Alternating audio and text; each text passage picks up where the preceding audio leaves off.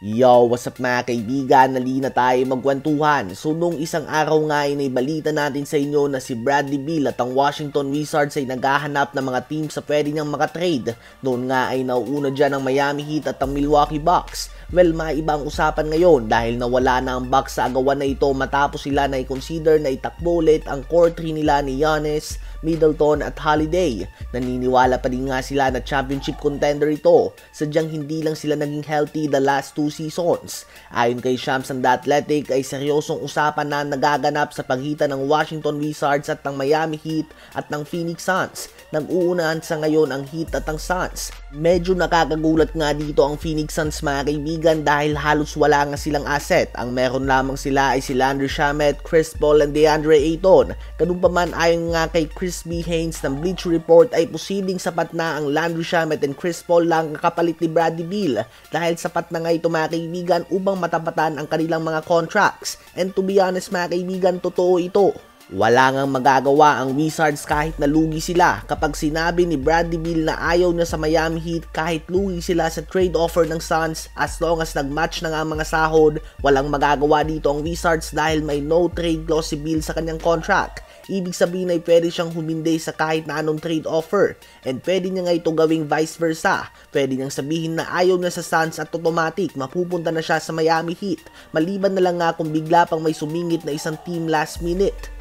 So it can be anytime. Ngayon, mamaya, bukas o sa draft night. Pwede nga magkaroon ng blockbuster trade including Bradley Beal. So pwede nga tayo magkaroon ng Jimmy Butler, Bam Adebayo and Bradley Beal na trio sa Miami Heat o kaya naman Kevin Durant, Devin Booker and Bradley Beal sa Phoenix Suns which is very interesting dahil naging problema nga ng Suns last playoffs ang kakulangan ng bench and this trade will not help sa problema na yon. Saan nyo ba gustong mapunta si Bradley Beal? Ngayon ay tumungo naman tayo sa Lakers. Ang kanilang season ay nagtapos sa West Finals matapos sa mawali sila ng Denver Nuggets. As a team, success pa din nga ito dahil number 7 lang sila sa West. Kay Lebron at AD malamang failure ito dahil naglalaro lang sila para sa championships. At ganun din nga sa Lakers as a franchise. Sa latest news ni Woj ng ESPN ay binulgar niya nga ang plano ng Lakers ngayong off-season moving forward.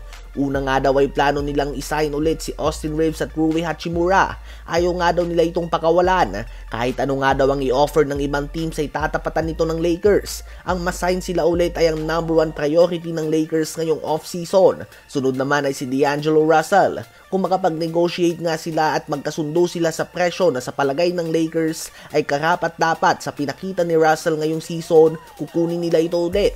At kung hindi naman ay hahayaan na nila itong umalis. Sunod naman ay binanggit na nga ni Woj ng ESPN na walang plano ang Lakers na kumuha pa ng isa pang superstar player. Bagamat nasasama ito sa mga rumors tungkol kay Kyrie Irving, Fred VanVleet, Trey Young o kung sino pa man na mga max player Ayon nga kay Woj ay most na nilang makukuha ay si Chris Paul kung tuluyan itong i-wave ng Suns at maging free agent. At hindi na nga daw natin ito mako-consider bilang superstar level player. Sa bagong CBA ngayon ng NBA ay wala kang tsansa na magkaroon ng lalim ng lineup kung may tatlo kang max level players. Matutulad lang ito kay Westbrook doon kung saan lahat ng minimum level players ang nakapalibot sa kanila.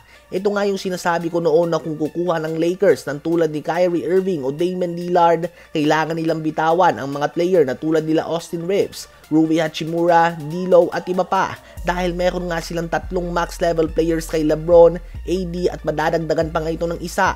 Ano ba masasabi nyo tungkol dito?